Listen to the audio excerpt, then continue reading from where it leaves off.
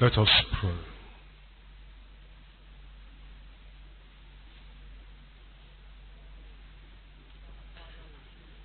Our Father, we thank you for our coming together. We thank you for the influence and the power and the impact of your word. We thank you for the promises you have given us as well. Thank you for the privilege of praying. We're praying, O Lord, as you open our eyes to see your truth once again today. The power to really pray and the faith to have the prayers answered. You give unto every one of us in Jesus' name. We pray that you challenge us to go beyond the normal average realm of the average believer so that we'll be able to do exploits for the Lord in Jesus' name. Bless your people, Lord, and use us to bless other people. In Jesus' name we pray. In James chapter 5, verse 16 through to verse 18. Confess your faults one to another and pray for one another that she may be healed. The effectual fervent prayer of a righteous man availeth much. Elias was a man subject to like passions as we are. And he prayed earnestly that it might not rain. And he trained not on the earth by the space of three years and six months. And he prayed again. And the heaven gave rain, and the earth brought forth her fruit. We've been talking about the power of praying and fasting. And uh, we posed quite a lot of questions.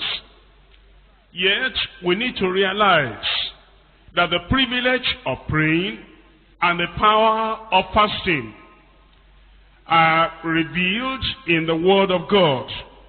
And yet, there are many, many things that the present day believers have missed out. When we think of the people that prayed and the people that had power with heaven, we think about people like Abraham, people like Moses, people like Elijah, people like Joshua, people like Daniel, people like Peter, James, John, Paul, and our Lord Jesus Christ. But as you look at the prayer lives of these people, there's something that strikes you very definitely. And it is that they didn't just pray for themselves. They prayed for communities around them. And it will be wonderful if the believer can lift up his eyes and look beyond himself. Because we're very weak when we think about ourselves only. And then you think of uh, what believers are praying for today. We generally pray for material things. Or we pray for personal things. And many people are no more concerned with what it means to be justified by faith. What it means to be righteous. What it means to be holy. What it means to have power with God and to walk with God and to be able to see the Lord on the final day. In verse 16 it says, Confess your faults one to another and pray one for another. Pray one for another. He wants us to think about other people, the needs of other people, and going beyond other people in our neighborhood to the whole nation. Then he tells us in verse 16, the effectual fervent prayer of a righteous man availeth much. You find that many people today that pray fervently, they do not think about righteousness. They do not think about holiness at all. They just read this as saying the effectual fervent prayer of a religious man. They may be religious, they may talk about prayer, they may talk about fasting, but they do not talk anymore about the importance of being born again. And if there is anything we ought to emphasize today, it is what we need to emphasize every time. It is the new birth. Except a man be born again, he cannot see the kingdom of God. the very first thing you should check up in your life is, are you born again? Are you living a transformed life, a changed life? Are you still righteous in the Lord? If any man be in Christ, is a new creature. All things are passed away and behold, all things have become new. Is that still important to you today? Blessed are they that thirst and hunger after righteousness, for they shall be filled. Are we hungry for righteousness today? Are we thirsty for righteousness today? Do we want righteousness? At all costs, without holiness, no man shall see the Lord. Are we panting after that holiness of God? Do we want that experience of purity of heart? Is that still important to us? When we talk about praying and fasting, and we talk about having power with God, you're talking about the people that still take the new birth very seriously. And the people that still hold on to holiness of life, purity of heart, and they hold on to that very seriously too. Then he talks about Elias, Elijah. He was a man subject to like passions as we are. And he prayed earnestly that it might not rain. He wanted revival for the nation. He wanted the nation to be turned back unto the Lord. And he knew that if he prayed and there was no rain, the famine, the drought, the need will make the people to want to look for God and to search for God and to seek Him. Because of that, he prayed that it might not rain. What's the motivation for our prayer today? Is it that people will turn to the Lord?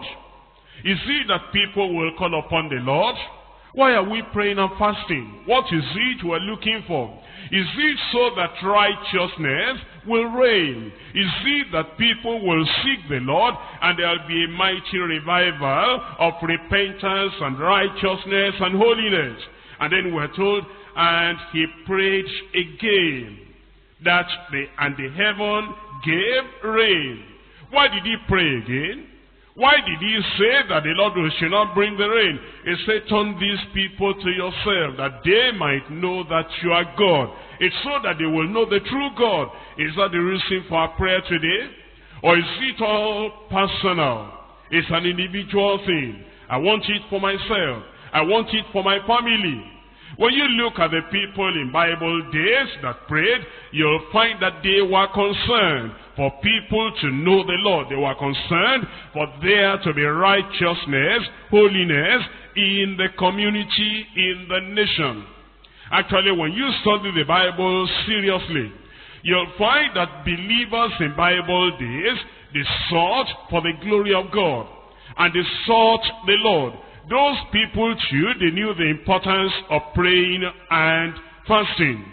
Almost all the believers in the world accept and practice some form of praying. But many, many people do not have results for their praying. Why? Because they have their priorities misplaced. They don't know what to pray for. They don't put spiritual things first. They do not seek first the kingdom of God and his righteousness. They are not concentrating on things of eternal value. They are not concentrating on things that the Bible counts important. That although they know that it's important to pray, the things they are praying for are almost worthless and useless in the sight of God. Because of that, many prayers are not answered. But then, when we talk about prayer, we're even saying that many people know about prayer. But very few believers have balanced biblical understanding about fasting. That's why it's important for us to think and to look at what the Bible has to say concerning praying and fasting. That's why I still want to look at this important subject, the power of prayer and fasting. There will be three points we're going to consider. Number one, unknown privilege of fasting. Unknown untold, unrealized privilege of fasting. There are many, many things the Bible says about fasting. And I wish I could have the time to show you from the Bible what the Bible says about praying and fasting. And the place where the Bible puts praying and fasting. But I want you to see in every case of the one of the scriptures I'm going to read to you that these things go beyond personal, selfish, private kind of need and request in uh, 1 Samuel chapter 7. 1 Samuel chapter 7, reading from verse 4. Then the children of Israel did put away Baalim and Ashtaroth, and served the Lord only. And Samuel said, Gather all Israel to Mizpeh, and I will pray for you unto the Lord. And they gathered together to Mizpeh, and drew water, and poured it out before the Lord, and fasted on that day, and said, We have sinned against the Lord. And Samuel judged the children of Israel in Mizpeh. I want you to understand that this was a national event. There was a national problem. The nation had gone away from the Lord. As a result of that, they were facing trouble. They were facing affliction from the enemies. Do you know what they did? They started with repentance. They started putting things right in their lives. You are going to pray and you are going to fast. You check up your life first. You purge your life force. You get rid of things in your life that may be a disturbance, a hindrance to your prayer. The children of Israel did put away Baalim and Ashtaroth and they served the Lord only. That's, the, that's where to start. If you want that prayer and fasting to have power, and if you want it to really bring results in your family, in your community, in the church, as well as in the nation, there must be thorough repentance. And in verse 5 it says, Samuel said, Gather all Israel to Mizpeh, I will pray for you unto the Lord. They gathered together, verse 6, and they drew water, and they poured it out before the Lord. They were saying, Oh Lord, we consecrate our lives. Our lives have been wasted already. In pouring out water, they were saying our lives are like wasted water. It's been poured out. We cannot gather it back again except if the Lord will work a miracle. And then they fasted on that day. And then they said, we have sinned against the Lord. They confessed. They repented. They turned away from evil in the cause of fasting before the Lord. And the Philistines heard that the children of Israel gathered together to Mizpeh. The lords of the Philistines went up against Israel. When the children of Israel heard it, they were afraid of the Philistines. And the children of Israel said to Samuel, Cease not to cry unto the Lord our God for us, that he will save us out of the hand of the Philistines.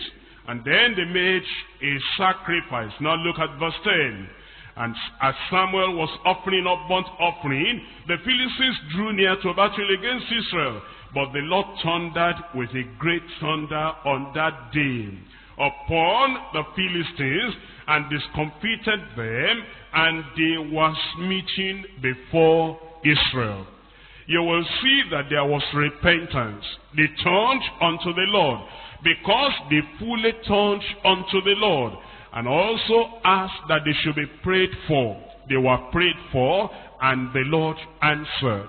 If we're going to see real power manifested in times of praying and fasting, one, the prayer should not be selfish. It should not be limited to just my personal need. And even if I'm going to talk about myself, it should not be limited to physical need.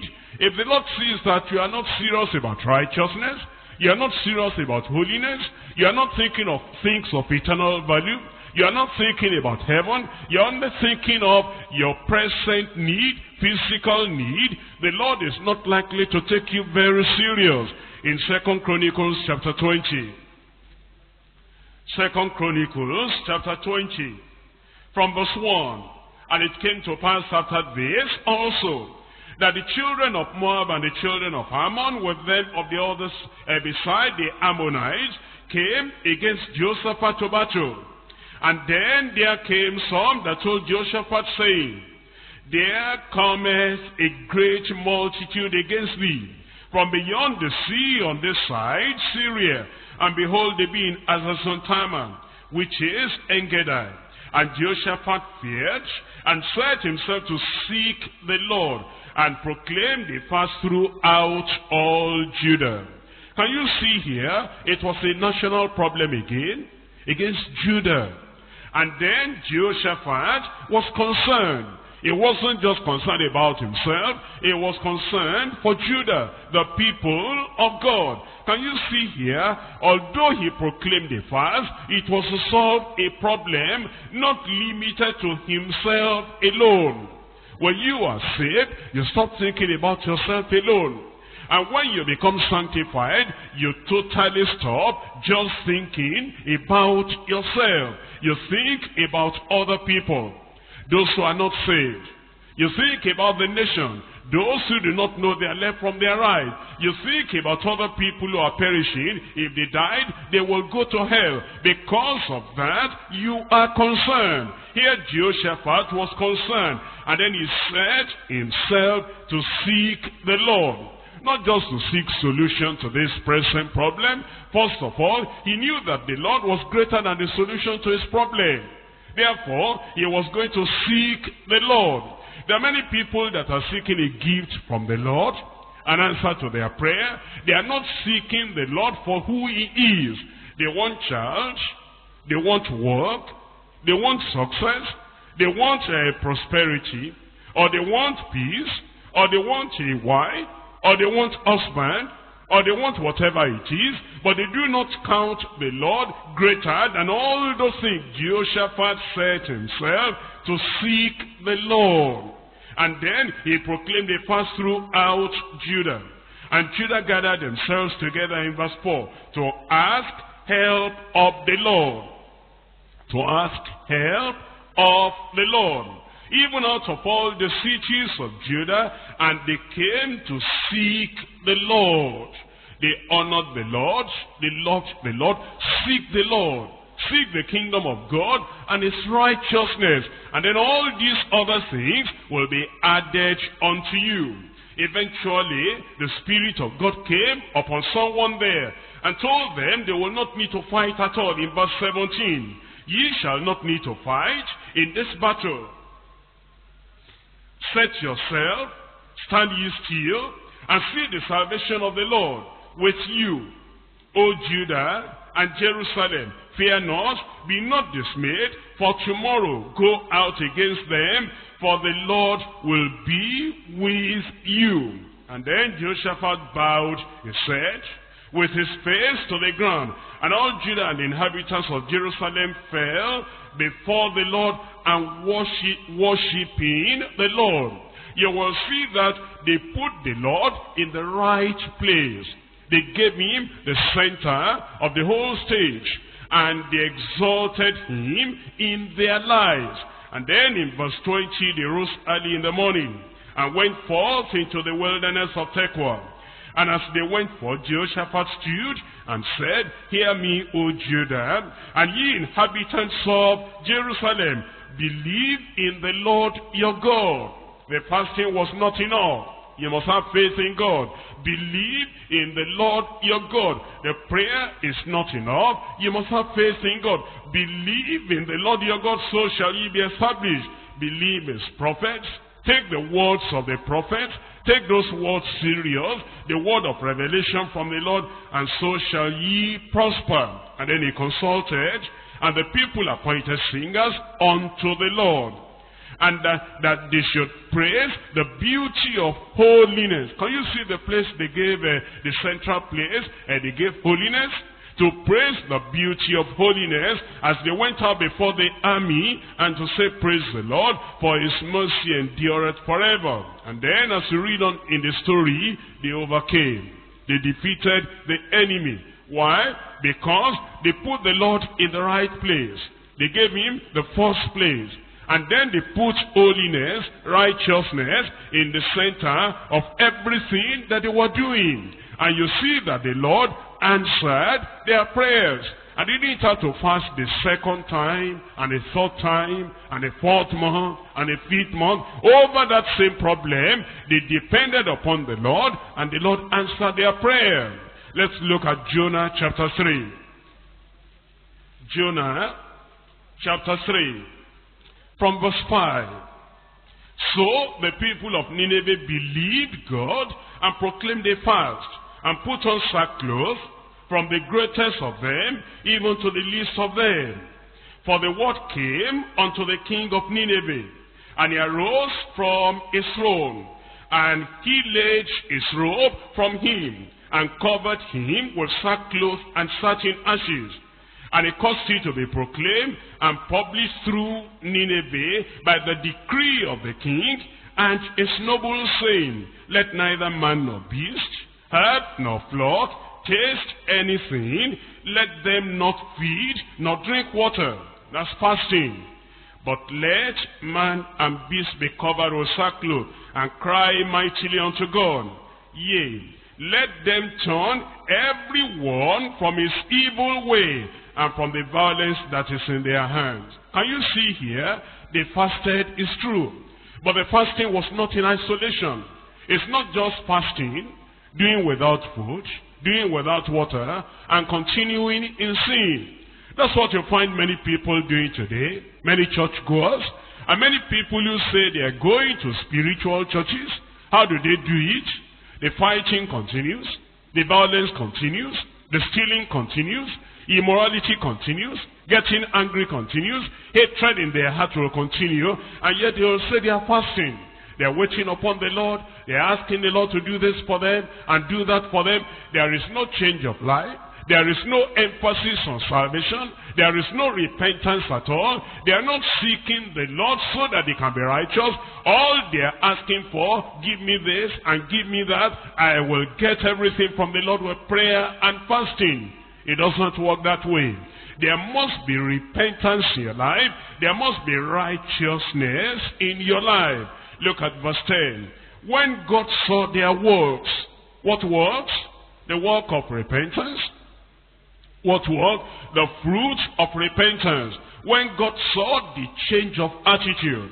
When God saw that repentance in their lives, that they turned from their evil way. It's not just the fasting that you saw. You see, there are many people that just say, I will get whatever it is from the Lord by getting away from food. I'm going to get that thing out of the hand of the Lord.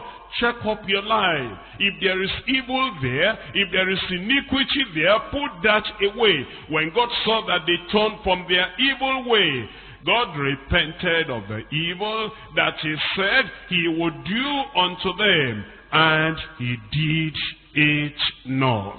He did it not. If you are a real child of God, the Lord is expecting that you take care of the spiritual matters first. After you have taken care of the spiritual matters, then you will see how you'll pray unto the Lord, wait upon the Lord, and the Lord definitely will answer. Matthew chapter 17 now. You have seen all these uh, cases that we have uh, read about. In the case of uh, the children of Israel in 1 Samuel chapter 7, they are backsliding. Therefore they turned back unto the Lord.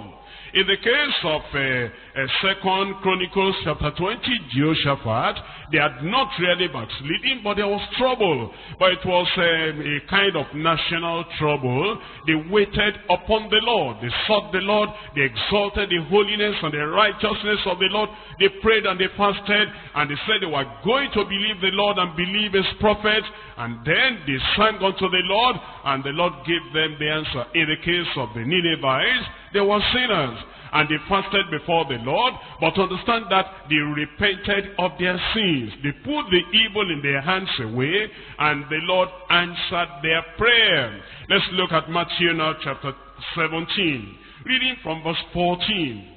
And when they were come to the multitude, there came to him a certain man kneeling down to him, and saying, Lord, have mercy upon my son, for he is lunatic, and begs.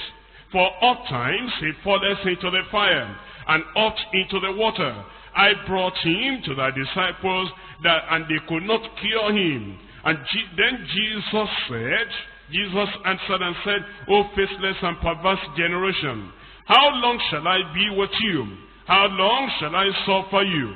Bring him hither to me. And Jesus rebuked the devil, and he departed out of him, and the child was cured from that very hour. Please let us understand once again. I've told you this before. This boy was not a believer. The father was not a believer. He came from outside the church. And then he came to the disciples. The disciples were not sanctified yet. They were not baptized in the Holy Ghost yet. But they were saved. They had been given some measure of authority. Therefore, they should have been able to deal with the case. But they had not been able to deal with the case. But the father will not give up. Therefore, the father waited until Jesus came. And he presented the boy, epileptic boy, before the Lord. And then Jesus rebuked the devil. Please understand, he didn't use any formula. He didn't have to do it three hours. He didn't have to do it three days. He didn't have to stay on doing that seven days. He didn't have to be commanding and commanding. He had authority and power. When authority is there, when power is there, we'll not have to go through any kind of gymnastics before we can cast out that evil. He cast out the devil and he cured that child from that very hour. Then came in verse 19 the disciples to Jesus apart and said, Why could we not cast him out? Jesus said unto them, Because of your unbelief. In this case, it was not because of their sin. They had not developed their faith. They had unbelief in this area. They had reservations in this area. The authority God had given them, Christ had given them, they had not used it effectively. And so he said, because of your unbelief. For verily I say unto you, if ye have faith, faith is very important. If we fast and there is no faith, there will be no answer. If we pray and there is no faith, there will be no answer. The problem is unbelief. If you have faith as a grain of mustard seed, ye shall say to this mountain, Remove hence to yonder place, and it shall remove, and nothing shall be impossible unto you. Nothing shall be impossible unto you on the basis of faith. If you have faith, how be it? This kind goeth not out, but by prayer and fasting. This kind goeth not out, but by prayer and fasting. Can I remind you again that you shouldn't just pick out that verse in isolation. Don't say, evil spirit will not go out of the believer without praying and fasting. This is not a believer.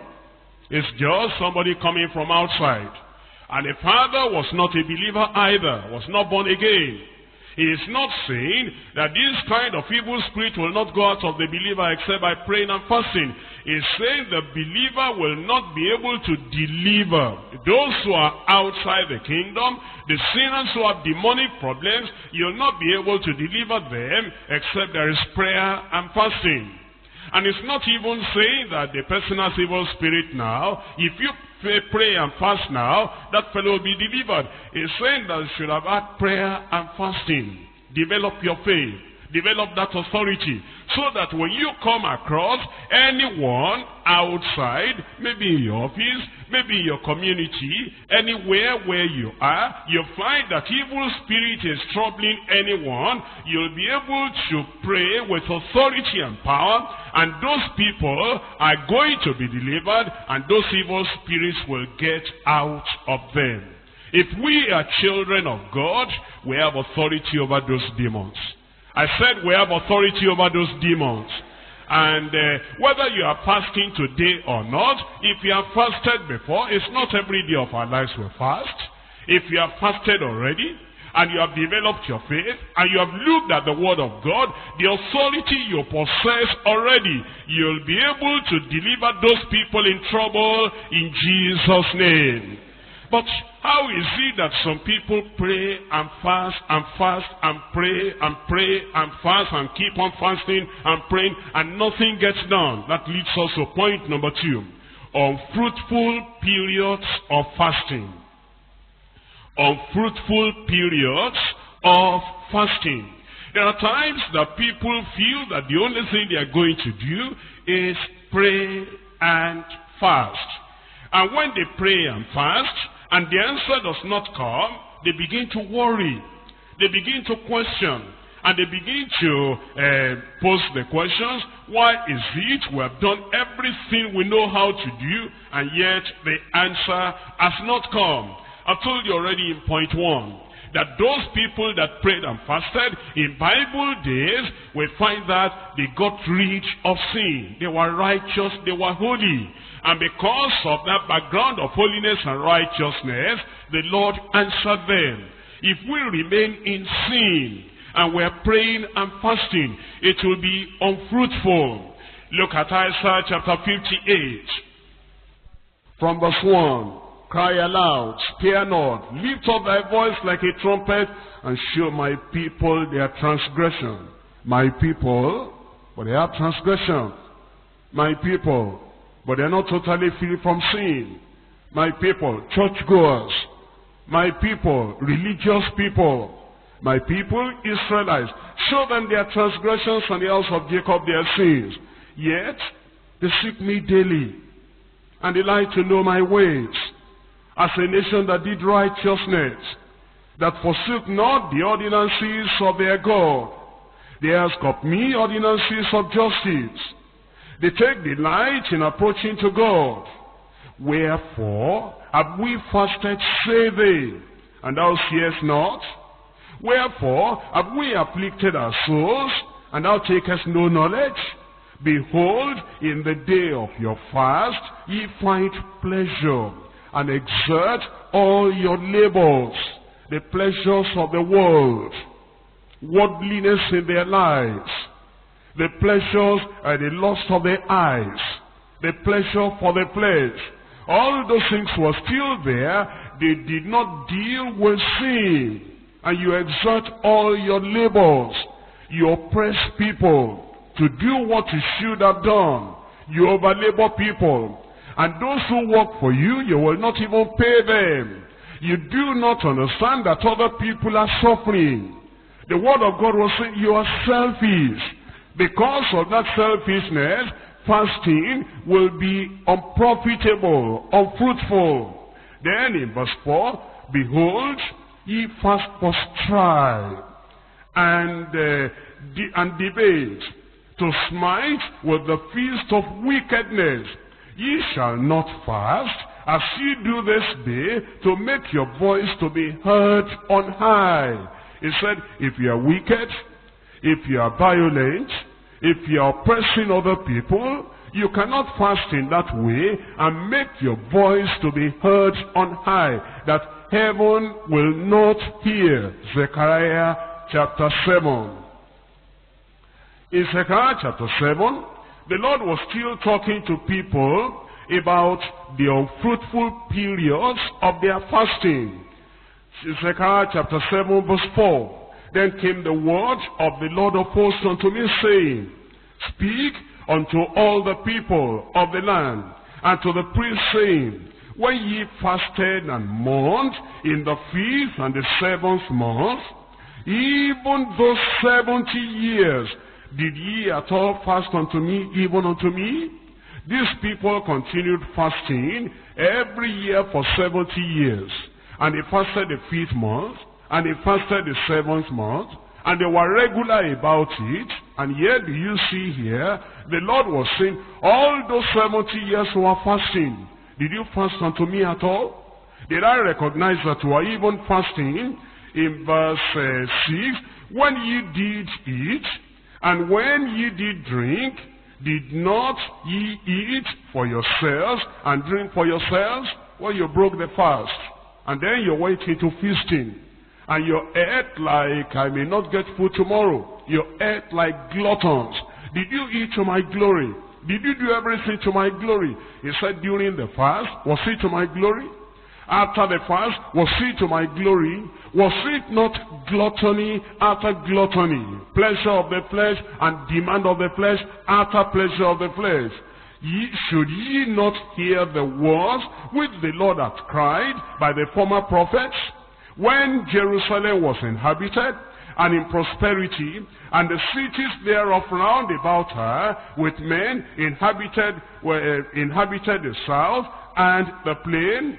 And the word of the Lord came unto Zechariah, saying, Thus speaketh the Lord of hosts, saying, Execute true judgment, and show mercy and compassion, every man to his brother. Is that what I'm expecting from you? If the praying and fasting is going to be of any value, let there be righteousness. Let there be justice. Let there be equity. Let there be mercy and compassion. And oppress not the widow and the fatherless, nor the stranger, nor the poor. Let none of you imagine evil against his brother in your heart.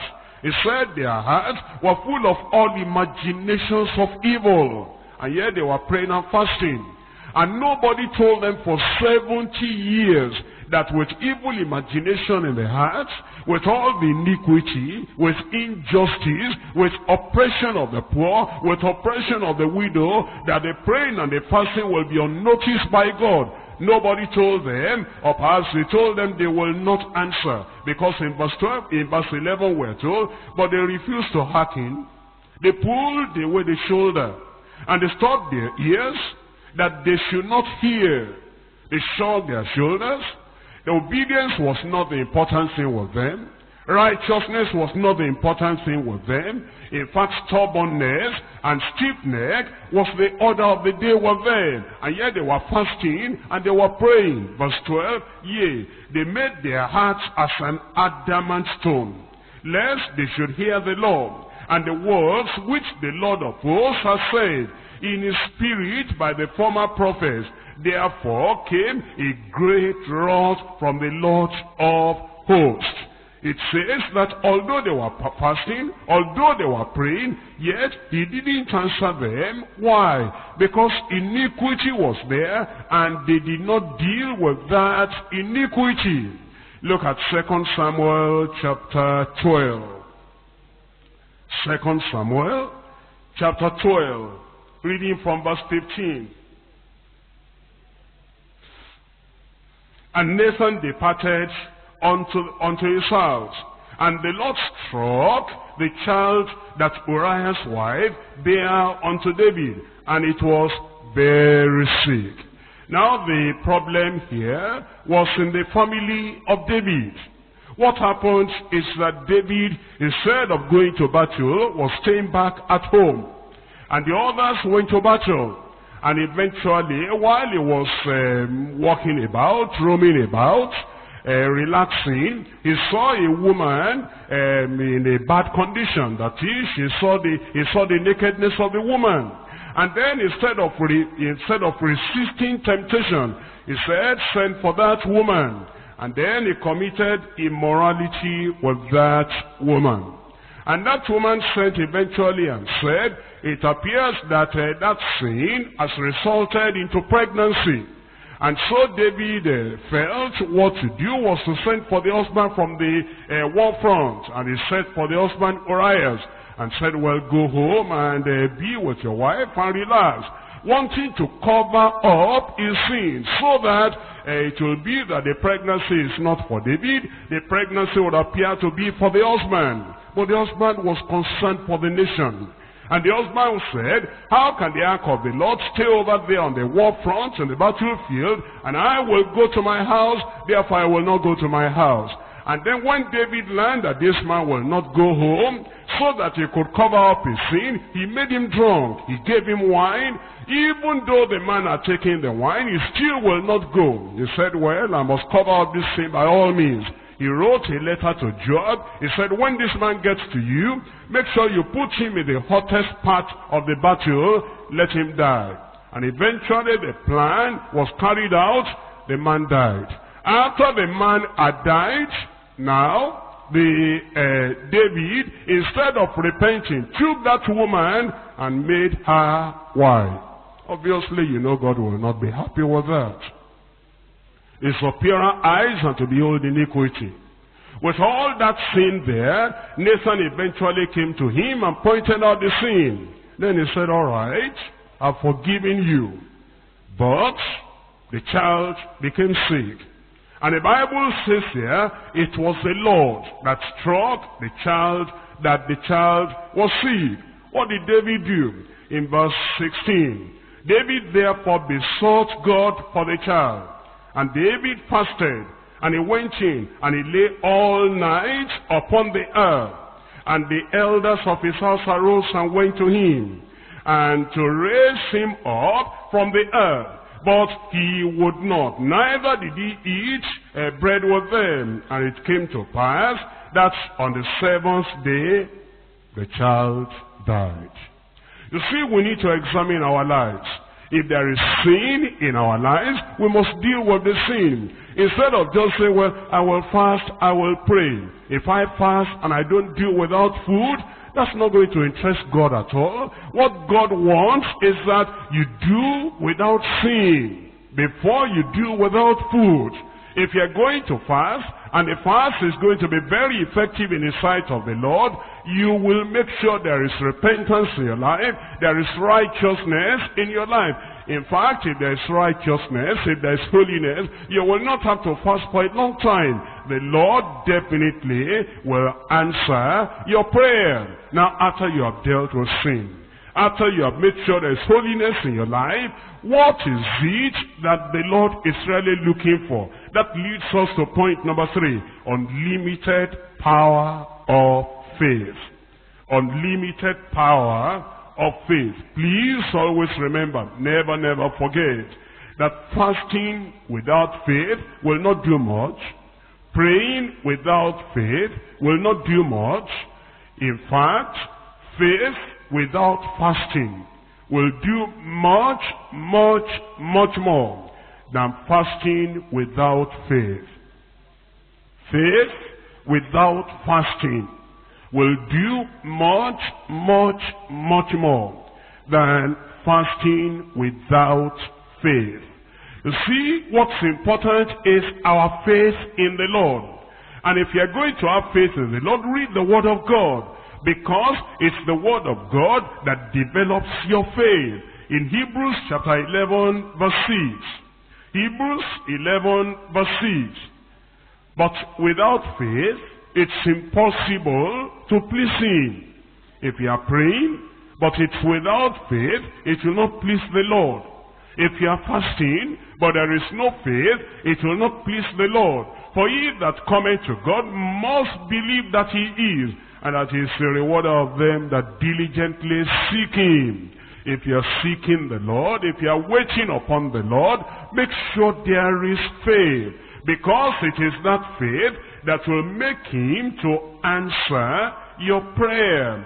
In James chapter 1 verse 5, if any of you lack wisdom or any other thing we may lack, let him ask of God that giveth to all men liberally and upbraideth not, and it shall be given him. But let him ask in faith, nothing wavering. If you are praying, please ask in faith. You are fasting, ask in faith, nothing wavering. You see, there are people that may uh, fast for a whole day or two days or even three days and not look at the promises of God and not look at the word of God and not look at the foundation of our faith and not look at the reason why God should answer. You must read those promises because faith cometh by hearing, hearing by the word of God.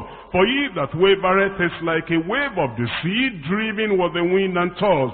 Let that let not that man think that he shall receive anything of the Lord. A double-minded man is unstable in all his ways.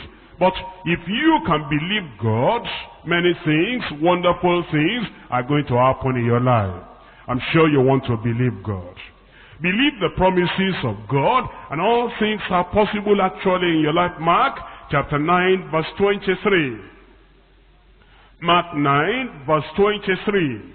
Jesus said unto him, If thou canst believe, all things are possible to him that believeth.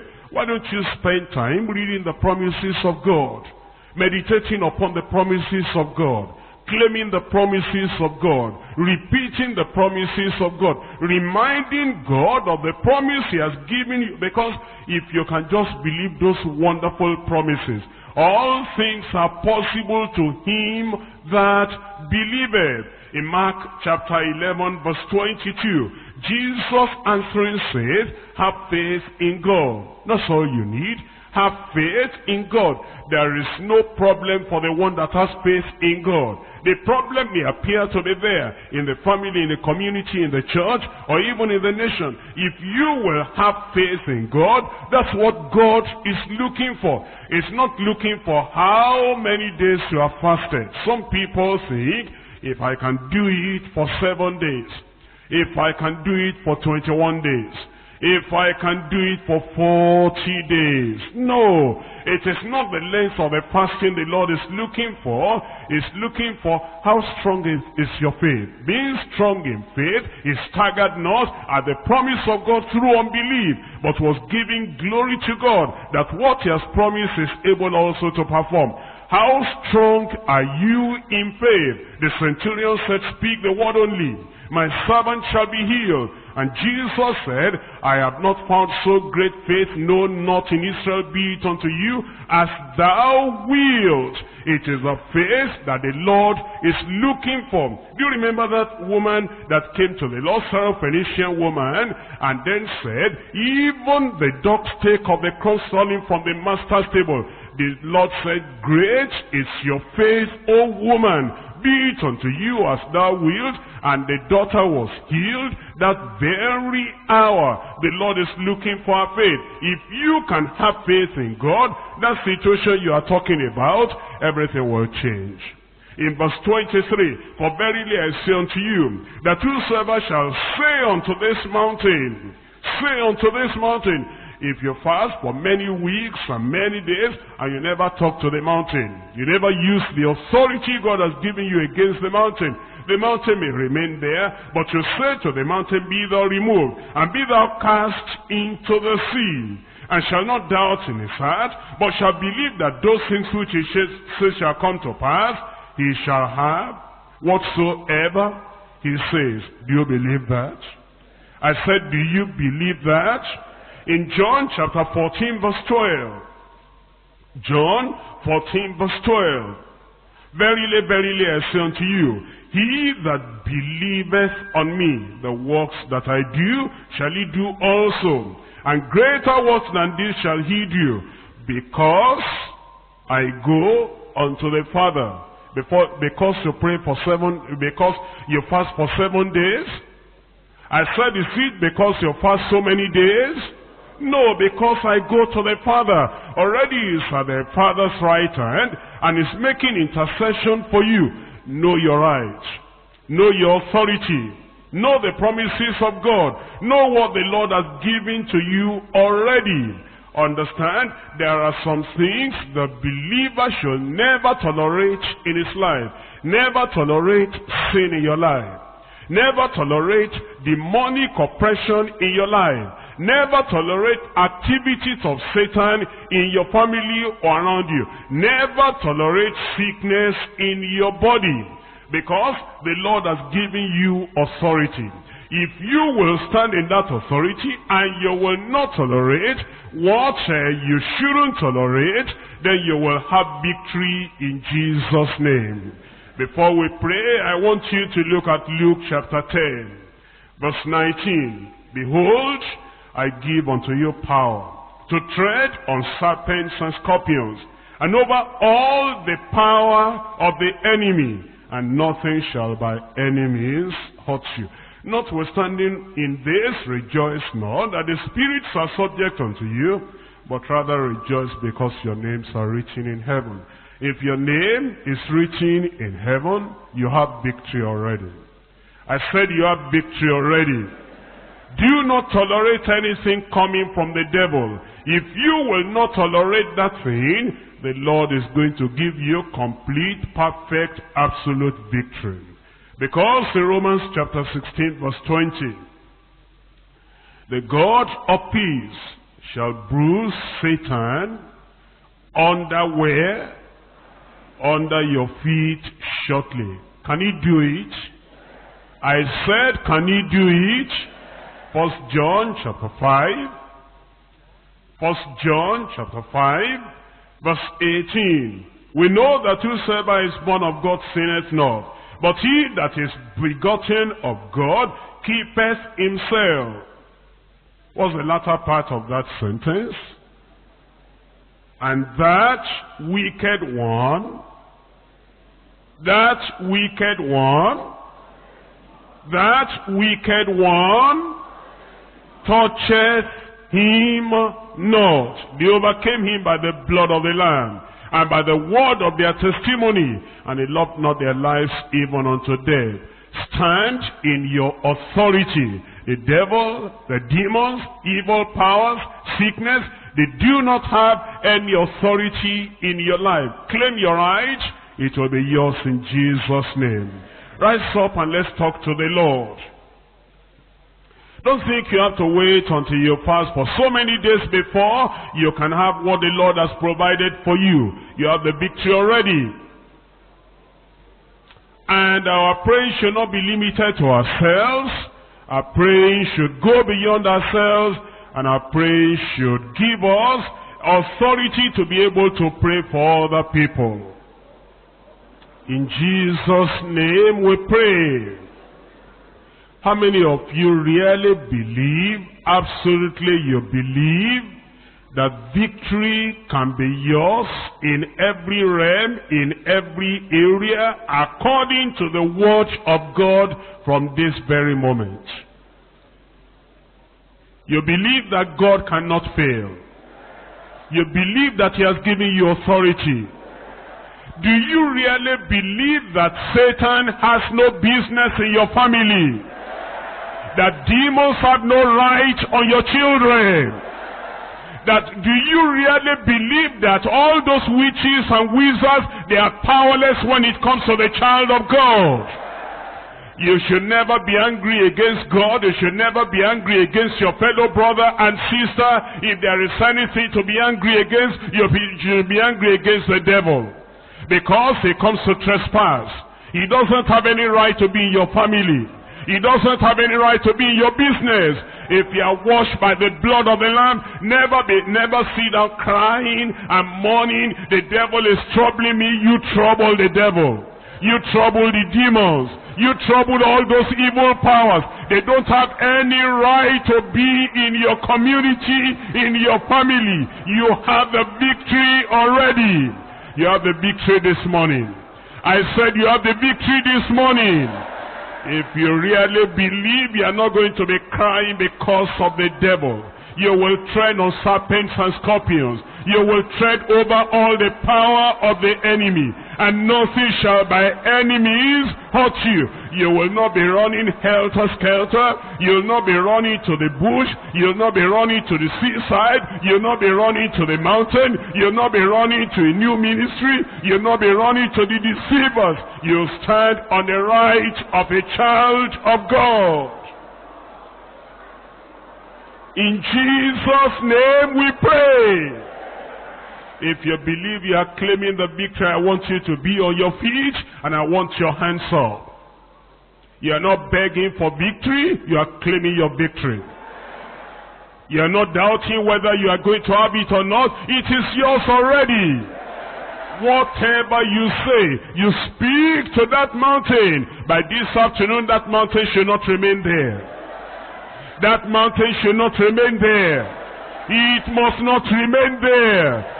We, the people that believe in holiness, should enjoy the riches of heaven. Father, in the name of Jesus. Father, in the name of Jesus. We come in that name that's above every name. The name that has authority. The name that commands power. The name that controls the universe. The name that controls the devil. We come in the authority that you have given us I bring all my brothers before you. I bring all my sisters before you. I'm praying, oh Lord, the victory that they have missed for so many years, for so many months, thinking they have to do this and do that before they get it. If they are born again, since they are your children, I pray, oh Lord, give them the victory in Jesus' name. All that deception of the devil, I pray you remove it away from their minds in Jesus' name. The devil has no right in their family. Demons have no right in their family. I pray, oh Lord, you make them to be completely free in Jesus' name. Every yoke, break it now. Every oppression, remove it now. Every affliction, remove it now. I place the mark of the blood of the Lamb upon every brother, upon every sister. And I pray that when those angels of death, angels of accident, all those demonic spirits of evil, when they come across them, they see the mark of the blood, they will pass over them in Jesus' name. All those people who have been living from hand to mouth, who do not have anything, all those people that are poor, in a miraculous way, provide for them in Jesus' name. All those who have been afraid of the wind, afraid of nothing, afraid of powerless people, afraid of people that are only bragging, afraid of the defeated devil. I pray you give them boldness now in Jesus' name. Every mountain in their lives, every mountain in their families, every impossibility around them, I cancel that thing, set them free in Jesus' name. I pray, Lord, you'll give them the victory. You will give them authority. That from now on, when they see anything that ought not to be there, anything coming from the paths of darkness, they will stand in their authority and they will drive that thing away in Jesus' name. Above all, make them righteous. Make them holy and let the power, the authority that belongs to holiness people be in their lives in Jesus' name. Fulfill the number of their days. Protect them in the day and in the night. Every time be around them. The moment they open their mouth to ask you anything, honor your word, answer their prayers in Jesus' name. Let their joy no limit. Fulfill their joy. Let there be happiness in their families. Lord, I pray that the devil that have been fooling around them will not be able to fool around in Jesus' name. Do something spectacular. Do something supernatural. Do a particular miracle. They will know that this is a miracle in Jesus' name. Let your mighty hand be upon them. Let your hand be against their enemies. Thank you because we know you have answered. In Jesus' name we pray.